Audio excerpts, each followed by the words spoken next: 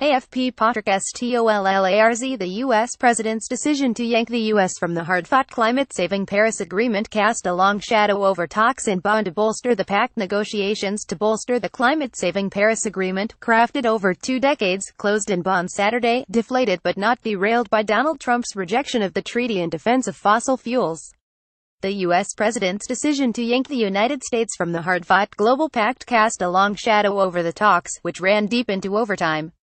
Negotiations were marked by revived divisions between developing countries and rich ones. With a wary eye on America, which sent negotiators to a forum it intends to quit, envoys from nearly 200 countries got on with the business of designing a rulebook for enacting the agreement, which enters into force in three years' time. The Trump administration failed to stop the global climate talks from moving forward, said Greenpeace observer Jens Matthias Clausen. Closing two weeks of talks, negotiators agreed in the early hours of Saturday to hold a stocktake in 2018 of national efforts to cut fossil fuel emissions.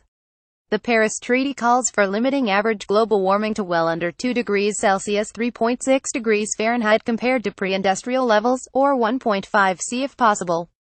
AFP Simon MALFATTO signs of climate change anything over 2C, experts say, dooms the world to calamitous climate change with more extreme superstorms, droughts, floods, and land-gobbling sea level rise. A report this week warned that emissions of carbon dioxide, the main planet-warming gas, were set to rise by 2% in 2017 after three years of hardly any growth. Starting now, emissions need to decrease to zero over the next 40 years to prevent us breaching the 1.5 C threshold, Piers Forster, a professor of climate change at the University of Leeds, said. Nations have submitted voluntary emissions cutting commitments under the Paris Pact championed by Trump's predecessor Barack Obama. But scientists say current pledges place the world on course for warming of 3C or more, and counsel an urgent upgrade of the global commitment to phasing out greenhouse gases produced by burning coal, oil and natural gas. Islands in peril While the Paris Agreement represents a remarkable diplomatic achievement, it will be judged by history as little more than words on paper if the world fails to take the level of action needed to prevent the loss of entire island nations, Maldives Environment Minister Thoriq Ibrahim told delegates Friday. The stocktake agreed Saturday must quantify the shortfall to determine what more needs to be done. In Bonn, negotiators also worked on a nuts and bolts rulebook, to be finalized at the next UN climate conference in Katowice, Poland in December 2018, for putting the Paris Agreement into action. Some progress was made, but observers and delegates complained that things were moving too slowly.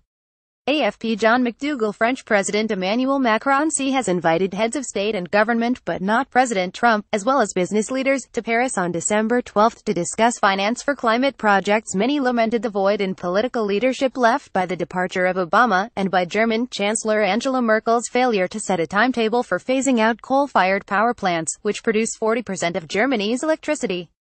The talks saw rich and poor nations butt heads on several issues mainly money. Developing countries demand detailed progress reports on rich nations' promise to boost climate finance to $100 billion 85 billion euros per year by 2020. The world's poorer nations often the first to feel the sting of climate change impacts need cash to make the costly shift away from atmosphere-fouling coal, and to shore up their defenses against extreme weather.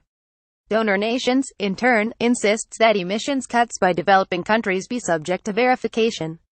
Act. Soon the United States, which under Trump has slashed funding for climate bodies and projects, took a tough stance in the finance negotiations in Bonn, a position that angered some delegates.